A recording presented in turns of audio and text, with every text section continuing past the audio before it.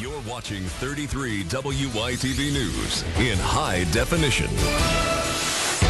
Well, Boy Scout Troop 101 is the largest and one of the longest running troops in Warren. This Sunday, April 1st, at Blessed Sacrament Church, 101 will host its 34th annual spaghetti dinner and fundraiser. And joining us this evening are Scout Josh McFall and Assistant Scout Master Dr. Kenneth LaPala. Doc, let's start with you. You've been around 101 since you were young, correct? You That's were actually a member there, an Eagle Scout there, and you go back all the way to the first spaghetti dinner? That's correct. Okay. Yep. Well, 34 years you've been doing this. Is this the primary fundraiser of the year? This is one of our primary fundraisers. Um, we also do a nut sale in the fall, which uh, is actually one of our more profitable ones. But this one uh, involves more people in the community, brings together a lot of the alumni uh, from the past, and our scouts an opportunity to work and meet with everybody. Now, is it, is it just the spaghetti dinner and the and the cookbook that are for sale? Those are the two major things that go on there. Uh, this time, no, we'll actually have a Chinese auction. Okay. Uh, so people can buy raffle tickets and put them in the baskets and uh, win a variety of things.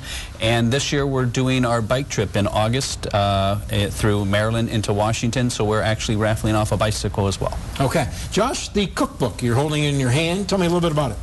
Well, uh, we have this cookbook for $12. It will be at the Blessed Sacrament Church on Sunday. Um, a special thanks to go out to uh, the Visual Imaging and Studios Department of TCTC for putting together this um, cookbook as part of a year-long program for their students.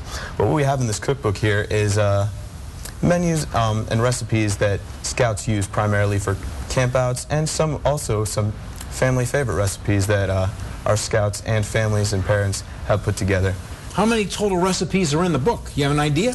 I don't have an idea, but there are a lot. It looks like you a fairly thick book. It so is a fairly thick book, yeah. and you will get a, a lot of use out of it if you buy it. There's a lot of good recipes in here, and a lot of them, if you like to cook over a campfire, they're Dutch oven friendly.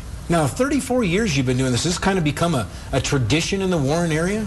Is this I would say, yeah, Okay. uh, we've got many people who, who look forward to Palm Sunday and coming around noon to 6 and, and having a wonderful uh, spaghetti dinner. All right, let's put the information up there for the people to, to get an idea exactly what we're talking about here. Uh, it is Boy Scout Troop 101. Takes place this Sunday, April 1st, noon to 6 at Blessed Sacrament Church in Warren. $7 for adults, $4.50 for children, and the cookbooks are $12, so there's a number of things that you can do uh, when you go there. Talk a little bit about Boy Scout Troop 101, either one of you.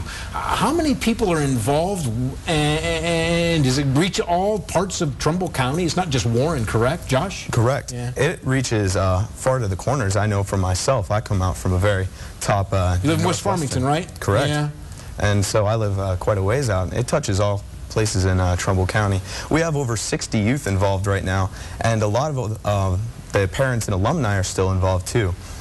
Um, we go camping every month, and uh, this is what this is fundraiser is for, to help us keep our camp out costs low and also to maintain and purchase new equipment for campouts and scouting activities. All right, Josh, Dr. LaPaul, thanks very much. Good luck at your spaghetti dinner coming Thank up you. on Sunday. We'll be back with more of 33 News at 5.30 right after the break.